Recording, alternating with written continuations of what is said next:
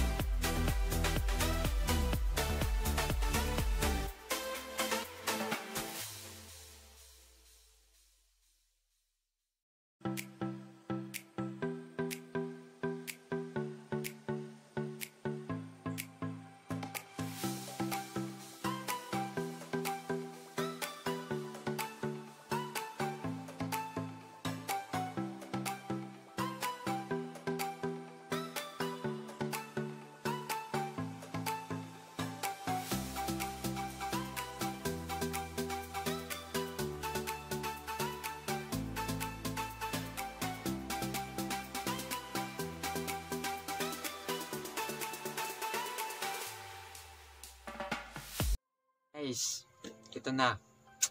Tanan! Ito na yung finished product natin na kung paano natin mahuhuli ang mga alaga ko dito. Okay? Ito yung bato. Purpose nito para babalik siya sa yung position niya. Yan. Tapos, nakita nyo yung ano, ito. Diyan natin nilalagay yung pagkain para ma-attract sila. Halimbawa, pag nandyan na yung pagkain, siyempre, pupunta yung daga dito, tapos pagdating dito, bingo! Oh, yan ako is sample. Ito yung daga.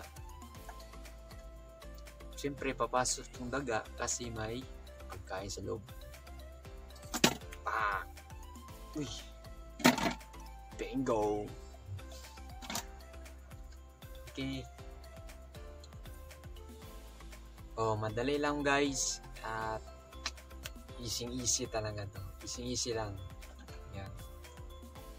Tapos, pag mahulog na yung daga, pwede mo na siyang i-quarantine. Okay. Sige, itatry na natin ito guys. Ayan guys, nilagyan na natin ng tubig yung pang-trap natin sa daga. Tapos dapat marami. Yan. Para mahirapan siyang lumabas. Tapos, lalagyan natin ng pampa-attract. Ito. Kasi mabango to eh. Mabango to. Lalagyan natin dito. Ipit lang natin.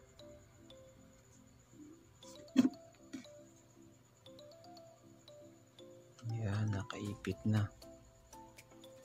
Tapos,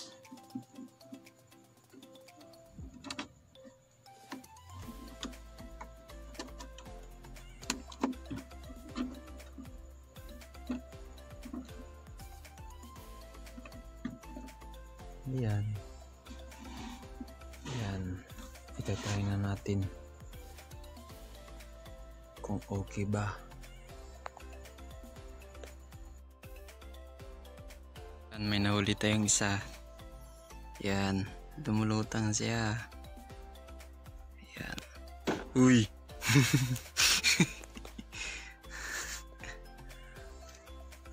Yan. Effective. Yan guys. May isa naman ang nahuli natin. Yung isa namatay na. Yung isa bago pa. Guys, thank you for watching at abangan nyo ako sa susunod nating mga videos. At guys, huwag kalimutan, ito, huwag kalimutan to,